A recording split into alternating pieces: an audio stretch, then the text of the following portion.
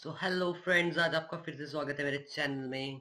सो so, दोस्तों आज मैं आपको बताने वाला हूँ कि हमारा हम अपने लैपटॉप को कैसे फास्ट कर सकते हैं। हमारे लैपटॉप में बड़ी सारी टेम्पररी फ़ाइल होती हैं और हमारे लैपटॉप की डिस्क को हमें ऑप्टिमाइज करना पड़ता है और आ, फिर हम अपना लैपटॉप को फास्ट कर सकते हैं।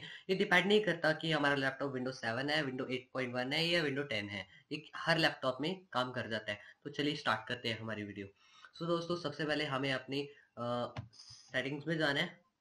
या सर्च में जाना है तो सर्च में यहाँ हमें ये सेटिंग्स करना है सबसे पहले सेटिंग्स करना है और यहाँ हमें टाइप करना है डी फ्रैग सो ये आ जाएगा आपका defragment and optimize devices so हम इसको ओपन कर लेते हैं। सो so, ये हमारा डिस्क दिखा देंगे। हमें यहाँ से विंडोज़ सी को क्लिक करके यहाँ ऑप्टिमाइज कर देना है। और इसको ऑप्टिमाइज होने में टाइम लगता है थोड़ा पर ये आपको करना है। दूसरा, आपको आपको विंडो आर प्रेस करना है। Window plus R. Window button होता है, plus R. Window plus R आपका ये खुल जाएगा। या आप यहाँ से भी जाके कर सकते हैं। ये आपका विंडोज़ आ गया। यहाँ राइट क्लिक कीजिए और यहाँ रन का ऑप्शन है यहाँ जाके। तो यहाँ आपको टाइप करना है, percent T E M P percent ये आपको टाइप करना है और ओके कर देना ओके करने के बाद आपकी एक विंडो खुल जाएगी। यहाँ आपकी बहुत सारी टेम्प्ररी फाइल्स होगी। और ये टेम्प्ररी फाइल्स हमारे किसी भी काम की नहीं होती हैं तो हम इन सबको डिलीट कर देते हैं। यहाँ से जाके ये डिलीट सो so, हम इन सारी टेम्प्ररी फाइल्स को डिलीट कर देंगे। ये हमारी टेम्प्ररी फाइल्स होती है हमारे किसी काम की नहीं होती है। सेकंड आपको फिर से यहाँ जाना है। फिर से यहाँ जाना है रन पे and you have to type only T E M P temp and then okay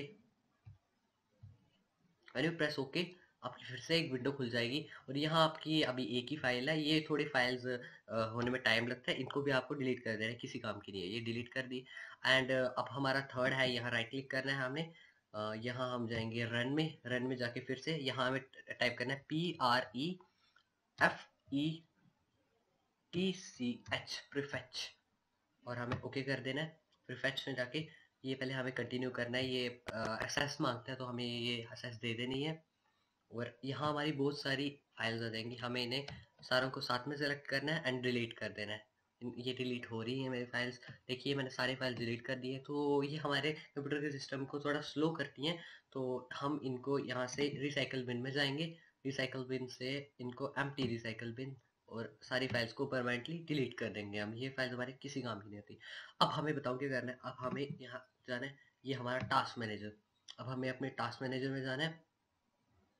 and task manager हमारा खुल गया है। सो यहाँ हमें ऊपर ऑप्शंस होते हैं। स्टार्टअप हमें स्टार्टअप पे क्लिक करना है। स्टार्टअप पे जाके हमारी स्टार्टअप्स होते हैं जब हमारा लैपटॉप ऑन होता है हमारा सिस्टम ऑन होता है तो आ, कुछ ऐप्स ना अपने आप ही स्टार्ट होने लग जाती है जो हमारे सिस्टम को स्लो कर देती है। सो हमें इन्हें डिजेबल कर देना है। आपको जो जो ऐप्स नहीं चाहिए आप सारी डिजेबल कर दो। देखिए मैंने सारी डिजेबल की हुई हैं जो ज़रूरी है विंडोज़ के होस्ट प्रोसेस है उसको डिजेबल मत कीजिएगा। सो so, इनको डिजेबल कर दीजिए। और मैंने मैंने देख लीजिए, मैंने पहले के डिजेबल किया डिजेबल करने के लिए आपको बताऊँ कि अगर इस पर क्लिक करना है एंड यहाँ अनेबल डिजेबल का ऑप्शन आ जाएगा। मैंने पहले से डिजेबल किया है सो अब मेरे को डिजेबल करने की कोई ज़रूरत नहीं है। अब हमारा अगला काम है, अब हमें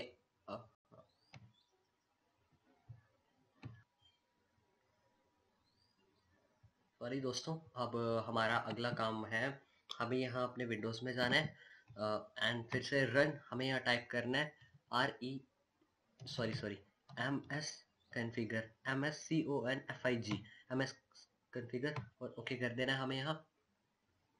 सो so, हमारी एक विंडो खुल जाएगी। हमें यहाँ सर्विसेज़ में जाना है और हमारी यहाँ ये माइक्रोसॉफ्ट सर्विसेज़ होती है बहुत सारी सर्विसेज़ होती है। सो so, हमें यहाँ इस पर क्लिक करना है। हाइड ऑल माइक्रोसॉफ्ट सर्विसेज़ जब हम हाइड करेंगे तो हमें ओके okay कर देना है। अब आप अब इसके बाद हमें एक और चीज़ करनी है। सो हमें जाना है यहाँ जिस पीसी में आपने यहाँ हमारा होता है प्रॉपर्टीज़ प्रॉपर्टीज़ में जाने के बाद यहाँ हमारा एडवांस सिस्टम सेटिंग्स होता है. एडवांस सिस्टम सेटिंग्स में जाने के बाद यहाँ हमारा एडवांस्ड है. परफॉर्मेंस में जाके सेटिंग्स पे क्लिक करना है. सेटिंग पे क्लिक करने के बाद फिर से एडवांस में जाना है. एंड देयर यहाँ हमारी होती है वर्चुअल रैम ये वर्चुअल रैम हमारे जो लैपटॉप की स्टोरेज होती है वो लैपटॉप की स्टोरेज को एज ए रैम यूज़ करता है. सो so, हमें यहाँ चेंज पे जाना है. और आपके, आप अपने हिसाब से ये ट्वेंटी थाउज़ेंड, ये जो ट्वेंटी थाउज़ेंड, थर्टी थाउज़ेंड है, ये इन एमबी में होता है।